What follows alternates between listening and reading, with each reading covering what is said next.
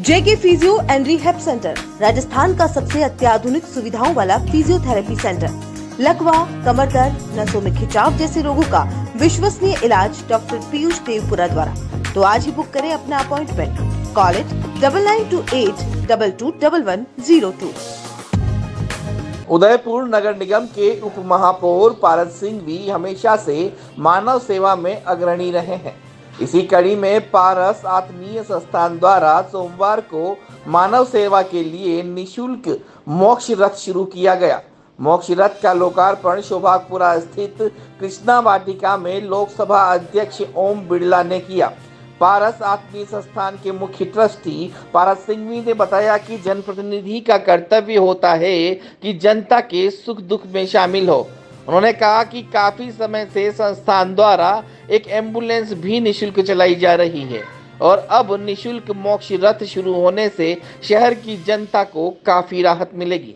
लोकार्पण कार्यक्रम के दौरान ग्रामीण विधायक फूल सिंह मीणा भाजपा की महामंत्री किरण जैन, पारस आत्मीय संस्थान के एस के खेतान, विनोद फांडोत, कमलेश हाथी, महावीर वनावत, पुष्पेंद्र जैन, अशोक काबरा अरविंद सरूपरिया, अरविंद जैन सहित कई लोग मौजूद रहे। इस अवसर पर आयोजित समारोह में अंतर्राष्ट्रीय कवि आज़ाद शत्रु ने अपनी कविता पाठ भी की।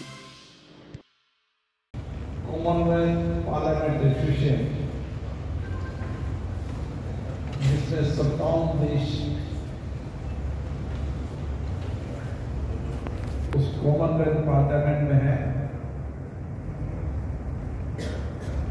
उसका भारत जोड़ का जिसमें सभी राज्यों के स्पीकर राजस्थान, अमर को अकबर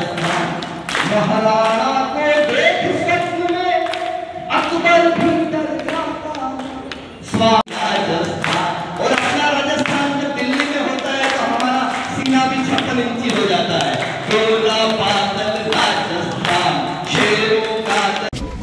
पारस आत्मीय सेवा संस्थान की ओर से एक संस्था सेवा मानवता कल्याण के लिए जो बनाई कोविड का कालखंड हमने देखा और उस कोविड के अंदर ऐसे ही भाव उत्पन्न हुआ कि हम कुछ मानवता के लिए कार्य कर सकें। एक एंबुलेंस एक पेड़ पौधे के लिए पानी पिलाने के लिए गाड़ी और आज तीसरा ये मो, मोक्ष रथ हमने उदयपुर की जनता को समर्पित किया है।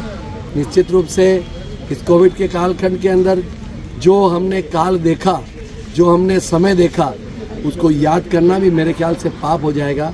इसलिए मानवता के लिए काम करना ही सच्ची सेवा का काम हो सकता है। आज इस कार्यक्रम के निमित्त लोकसभा के यशस्वी अध्यक्ष ओम जी भाई साहब पधारे। उनका आशीर्वाद हमें मिला। मैं उनका हृदय की असीम मेरे से आभार व्यक्त करता हूँ। उनका आशीर्वाद सदैव हमारे ऊपर बना रहे। आदरणीय कटारिया साहब का आशीर्वाद हमारे ऊपर बना रहे।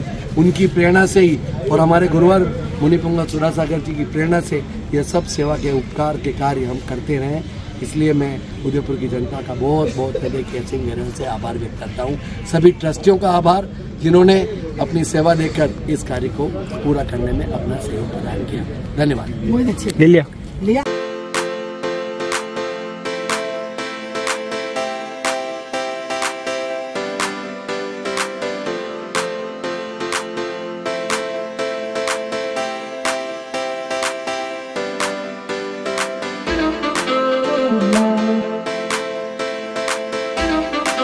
Good night.